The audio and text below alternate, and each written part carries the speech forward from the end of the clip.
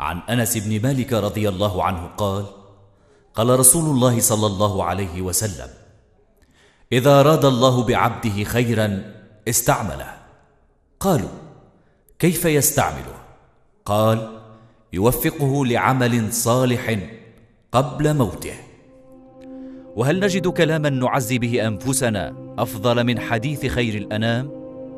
نعم استخدمك الله لعمل صالح ختمت به مسيرتك النضالية.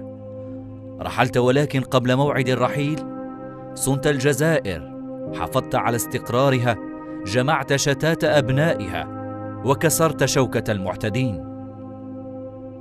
رجل استدعته الجزائر لخدمتها شابا وعند الجلد وجدته سدا منيعا وإن بلغ من الكبر عتيه امانه اللي متكلفين بها والامانه واعرة. لما واحد يكلفك بأمانة تكون في المستوى الامانه اختار التخندق في صف الشعب وإعلاء صوته وتوحيد رايته. من الوهلة الأولى للحرك السلمي. معطيا أوامر بحفظ الأمن وحقن الدماء مطمئنا الحراك أن شوكة الجيش على أعدائه لا أبنائه. باش نعطي أمر للشعب الجيش باش يضرب الشعب أنا من صلب الشعب. أنا ملي عشت في الثورة عشت مع الشعب قعدت مع الشعب في التروريزم قعدت مع الشعب وعندي علاقة مع الشعب دائما ووصيت لوحدات لقيتها قلت مرضوا بكم تغلطوا مع الشعب وحفاظا على استمرار الدولة والنأي بها عن شبح فراغ مؤسساتها كان الفريق على موعد مع التاريخ. وقف بوجه بوتفليقة وساق أعداء الجزائر إلى السجون زمرة وفي أسوأ لحظات الفرقة والشتات كان يخرج مذكرا ناصحا بسمو الجزائر فوق كل الاختلافات والخلافات. الجزائر عندها قوانين وعندها دستور اللي يحميها وإحنا حمينا الدستور هذا. وتمينا في العهد تاعنا إحنا نسعوا فيها.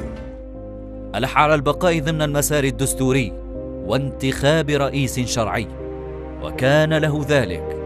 ليساهم في رسم مشهد الجزائر الجديدة وتأمين وحماية الدولة ومؤسساتها ومرافقته للشعب في انتفاضاته المباركة بسلمية ومسؤولية.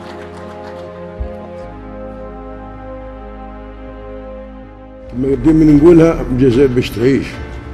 الشعب الجزائري عنده حق باش يعيش حر مستقل.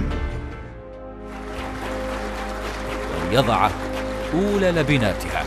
مشهد كانت آخر صورة فيه ترصيع صدره بوسام الاستحقاق.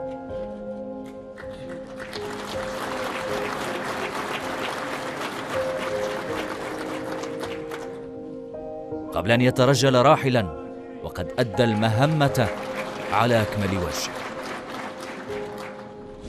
نتمنى إن شاء الله نكون في حصر نطلنا البلاد. والشيء اللي عملناه لله في سبيل الله.